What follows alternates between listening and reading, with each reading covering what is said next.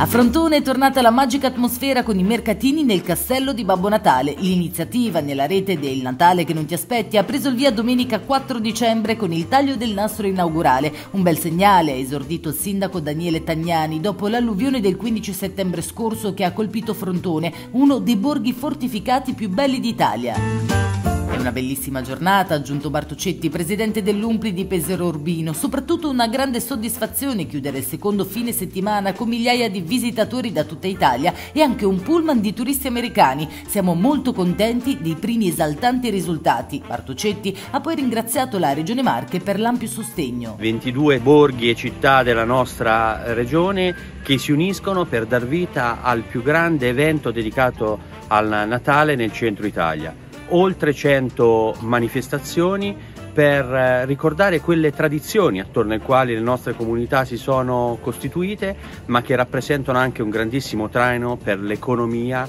del nostro territorio e del centro Italia. Un ringraziamento a tutti i volontari, alle amministrazioni comunali, alle Proloco che anche quest'anno possono godere del sostegno dell'amministrazione eh, regionale. La regione crede in queste iniziative, si fa forte di tanti volontari che, amino, eh, che animano i nostri eborghi e che ci fanno rivivere le splendide emozioni del Natale, una festa della famiglia.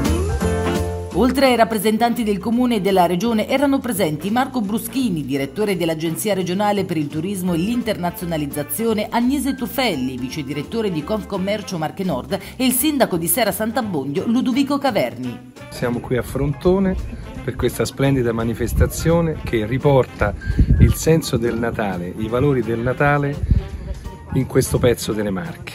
22 comuni fanno sistema insieme per fare un'azione promozionale comune del periodo delle festività natalizie. Questo per noi dell'Atim è un, eh, un segnale estremamente importante perché la nostra azione vuole creare un brand unico della regione Marche e vuole dare un messaggio unitario di una regione plurale.